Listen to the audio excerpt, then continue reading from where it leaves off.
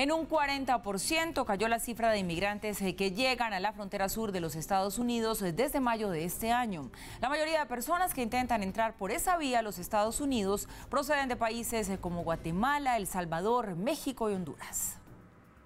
Según el Ministerio de Asuntos Exteriores de México, es la cifra de reducción en el flujo migratorio por la frontera sur. El gobierno mexicano calcula que 87.648 personas habrían llegado a la frontera entre Estados Unidos y México en julio, lo que representa una caída del 39,5% comparado con los 144.278 migrantes registrados en mayo recordaron a Estados Unidos que están cumpliendo su parte del acuerdo y los invitaron a hacer lo mismo. Aquí hay una corresponsabilidad de Estados Unidos y de México y México ya está cumpliendo su parte.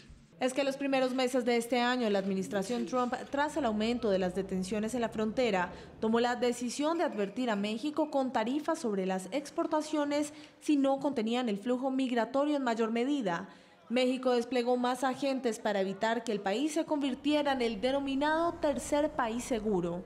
México y Estados Unidos habían acordado un compromiso para tomar medidas sin precedentes con el fin de disminuir el flujo migratorio hacia Estados Unidos, dando un plazo de 45 días que se cumplieron la semana pasada para que la administración Trump evaluara los resultados. La crisis migratoria con tantas aristas como inmigrantes estos son los rostros de quienes han podido saber de los suyos a través de los medios cuando les perdieron la pista al iniciar su travesía hacia la frontera. Y cada vez que yo miraba los videos, este,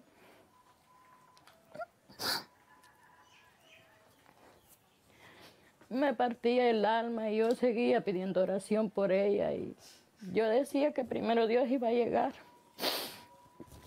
Y primero Dios llegó, gracias a Dios, allá la tienen en migración y ya ahorita ya solamente que le avisen a mi hermana que la vaya a recoger y ya ayer, ahora no sé cuándo avisaron que ya había llegado ella, ya estamos felices, ya nos quitó esa, esa preocupación que teníamos. Ajá, pero de lo contrario, estábamos tristes porque todos llorábamos que no sabíamos de ella ni del niño tampoco. Los migrantes están siendo devueltos en buses desde Texas a terminales en ciudades de México como Monterrey. En las últimas dos semanas han sido regresadas 450 personas, casi la mitad menores de edad. Sí, Mariela se fue para ver su mejoría de su niño. Por eso es que se fue ella. Mm.